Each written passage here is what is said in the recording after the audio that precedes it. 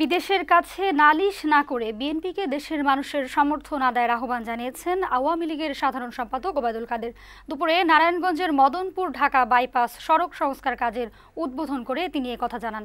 বলেন সেতুমন্ত্রী খালেদা জিয়াকে সাজা বহাল থাকবে নাকি মৌকুফ করা হবে তার এখতিয়ার আদালতের। এতে সরকারের কিছুই করার নেই বলেও মন্তব্য করেন তিনি।